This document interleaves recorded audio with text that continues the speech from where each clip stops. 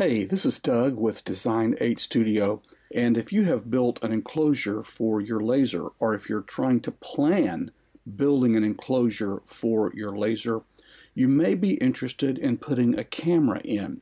And any USB webcam is compatible with Lightburn by default and it's really a great idea for you to consider regarding your enclosure. One of the questions that you're going to come up against is how much headroom is needed for the camera to see all of the cut bed in my laser enclosure.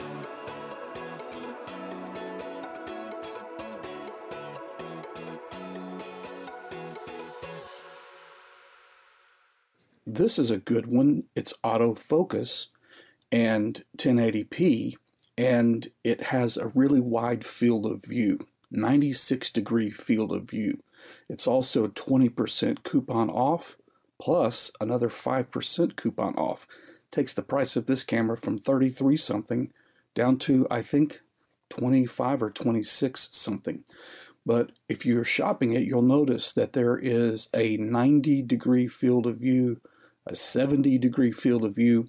The 70 degree uh, comes with autofocus for only 18.99 um, and so the, there's a pretty big price jump between the 70 degree field of view and the 96 degree field of view.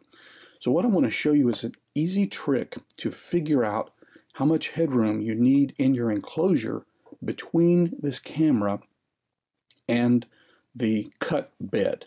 So let's do this for the 96 degree field of view camera.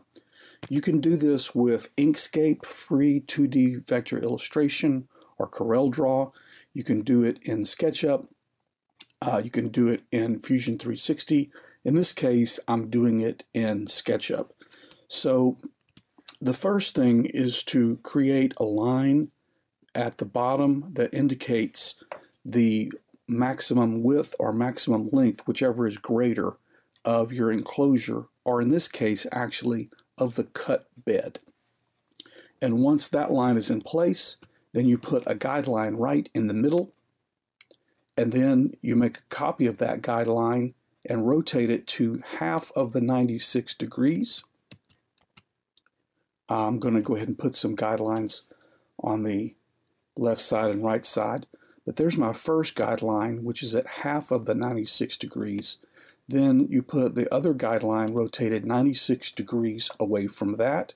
And then you move both of those guidelines up or down until the edges correspond exactly with the edge of your cut bed. You can see I just nudged it there. And then all you have to do is measure the distance from the cut bed up to where the camera lens would be, indicated by the intersection of the two angled guidelines. So I just dropped a horizontal guideline on that intersecting point, and now I can draw a rectangle indicating how much headroom is needed on the inside of the enclosure on that side. Now if you build an enclosure with the ability to have motorized Z adjustment of the cut bed, then it's good to have autofocus and you could certainly have this distance be the minimum for how high your camera needs to be above the cut bed. And then if the cut bed got further away, it would stay auto-focused on the cut bed, uh, but then you would see more than the cut bed. However, when the cut bed was at its closest to your camera, you would still be able to see all of it. And if you want to for fun, you can go ahead and draw in the approximate size of the camera and know that if you've measured the thickness of the camera as it's positioned looking down, you can add that thickness on. So I would need to find out how thick this camera is from front to back and add that on. But when I take my measurements on this and use the dimension tool, I realize that I've got my 736 millimeters uh, on the uh, long side of my extended diode laser rig, and then I measured 331.348 millimeters of height to match that field of view, and so that winds up being about 13 inches, and that is allowing that camera to see all 29 inches from the front to the back of my cut area. I hope this has been helpful to you, and I'll put a link in the description to that particular camera and until the next video, this is Doug with Design 8 Studio, and I wish you happy making.